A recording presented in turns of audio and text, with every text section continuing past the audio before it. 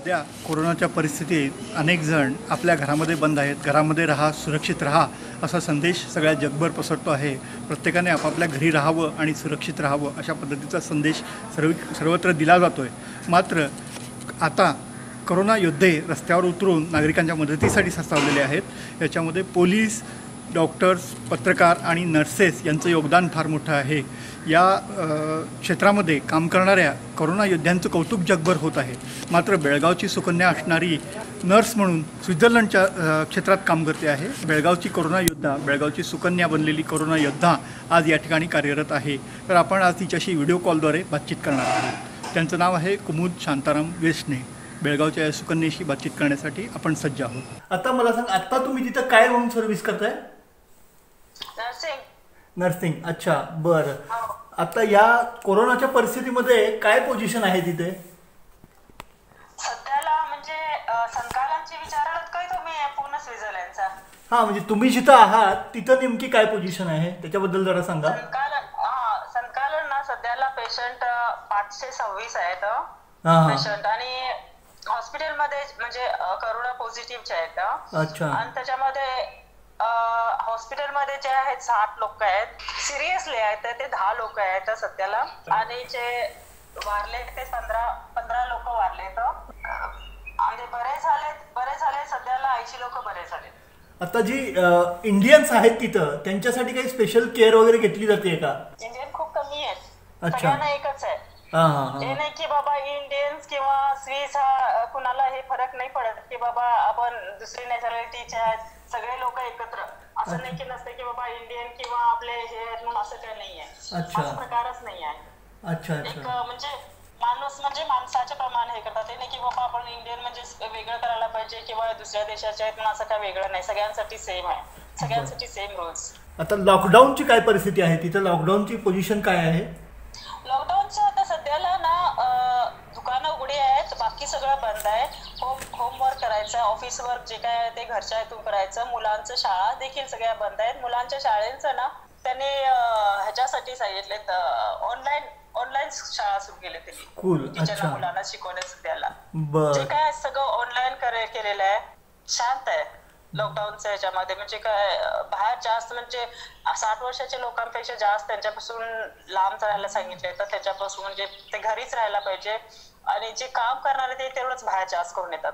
आता तुम्ही जे स्वतः नर्सिंग सेवा देताय तिथं त्याच्यामध्ये तुम्हाला ही रिस्क आहे. तर तुमची काळजी घेण्यासंदर्भात तुम्हाला काही विशेष सूचना केल्या जातात का तिथं? हो आम्हाला ट्रेनिंग आधीपासूनच दिलेली असते डेटॉल्स वापरायचा. म्हणजे आपण आपली आमची ट्रेनिंग आधीपासूनच आहे. मी जिथं जे काम करते मी एमर्जन्सी वॉर्डमध्ये मी काम करते.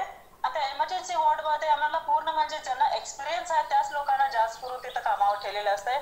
आणि जे आमच्या हॉस्पिटलमध्ये जे आहे ना म्हणजे आपल्या एकमेकांना सगळेजण लावून जे ऑपरेशन आहे सगळे बंद केलेले आहेत सध्याला. जे डॉक्टर्स जे डॉक्टर्स नर्स आहे ते बाकीचे ज्यांना ज्या दुसऱ्या वॉर्ड्समध्ये आहेत ते सगळे इकडे येतात आमच्याकडे येतात. त्यांनी सगळेच म्हणून आमच्या जास्तीचं काम हे केलेलं आहे. म्हणजे पर्सनल वाढी वाढवले तर लोकांची संख्या वाढवलीत कामाची.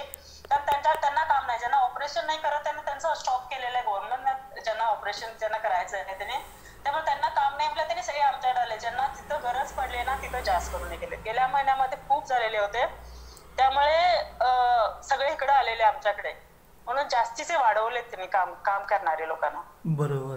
आता इंडियाबद्दल अं, अं, म्हणजे आता परदेशातून इकडे येण्याबद्दल काही वाटतं का? म्हणजे भारतात यावं किंवा भारतातल्या लोकांच्या बद्दलची चिंता तुम्हाला काय वाटतं? घरचे लोक सगळे इकडे आहेत तर त्यांच्याबद्दल तुम्ही काय फिलिंग्स व्यक्त करत?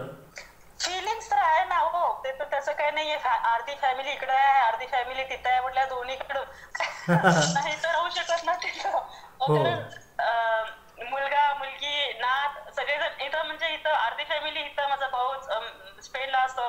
म्हणजे अर्धी फॅमिली इकडे आहे आणि अर्धी फॅमिली फॅमिली असल्या वाटते तर आम्ही मे महिन्यामध्ये माझा मुलगा आणि मी येणार होतो. ऍक्च्युली सुट्टी घेऊन घेऊन आम्ही येणार होतो. खरं येऊ शकला नाही कारण एवढं पण पूर्ण तयारी करून ठेवलं ते मास्क पण घेऊन यायला तयार केलेलं होतं. आम्ही यायचं नाही काही काय होत नाही.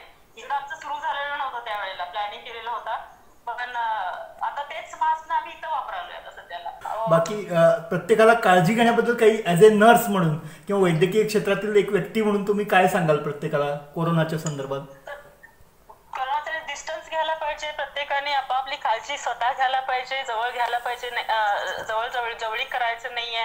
हात धुवायला पाहिजे एक प्रत्येकाने प्रत्येकाला. आणि त्याची प्रत्येकाची काळजी स्वतः आधी हात धुवून ही महत्वाची गोष्ट आहे. आणि डिस्टन्स राहायला पाहिजे आपल्या ह्याच्यामधून. ही महत्वाची गोष्ट आहे.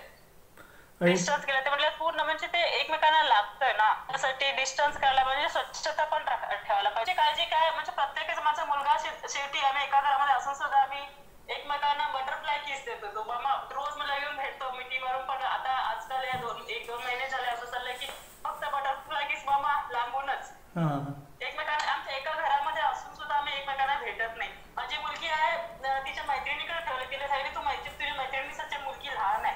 पाच वर्षाची माझी नात आहे. तिचा वाढदिवसाला गेलेलो होतो आम्ही. तर ती मला येऊन भेटली तर मी तिचा हात लगेच वाटते केलं की बाबा नाही भेटू शकत नाही तिला. ते हो म्हणजे अं, जरासं म्हणजे स्ट्रॉंग व्हायला पाहिजे. स्वतः की बाबा आपले जे व्यक्ती आहे जे आवडती व्यक्ती आहे त्यांच्यापासूनच दूर राहायला पाहिजे. कारण त्यांना आपण मारतो नाही तर. बरोबर. जर जास्त आपलं पाहिजे किती पण इमोशनल व्हायचं नाहीये. खरं म्हणजे घाबरायचं नाही इमोशनल नाही व्हायचं इमोशनल म्हणून गेलं जे जितकं माणूस इमोशनल होतं ना तेवढं जास्त हे होते. बरं इमोशनल मी जर तिला पकडले असते तर माझं तिला लागलं असतं ना. एकमेकांना टच झालं असतं. किंवा माझा मुलगा आहे म्हणजे त्याला एक पाठा भेटायचं. इमोशनल सध्याला ठेवायला बाजूला ठेवायला पाहिजे. आणि त्याने काम करायला पाहिजे म्हणते. करायचं नाहीये कुणाला पण. बेळगावची सुकन्या असणाऱ्या कुमुद शांताराम वेशणे हिच्याशी आपण आत्ता चर्चा केली. जगभरातली परिस्थिती काही वेगळी नाही. भारतामध्ये सुद्धा अशीच परिस्थिती आहे. आणि आपण सारेजण घरामध्ये बंदिस्त होणं किंवा स्वतःला लॉकडाऊन करून घेणं हा जगभरातला सर्वोत्कृष्ट उपाय आहे अशी आता सगळ्यांकडून माहिती मिळते आहे. तर आपणही सगळ्यांनी घरामध्ये राहा सुरक्षित राहा आणि लॉकडाऊनच्या योजनांना म्हणजे प्रशासकीय यंत्रणेने ज्या योजना राबवलेल्या आहेत त्यांना सगळ्यांनी सहकार्य करा आणि सुरक्षित राहा एवढाच संदेश तरुण भारतच्या माध्यमातून मी देत आहे.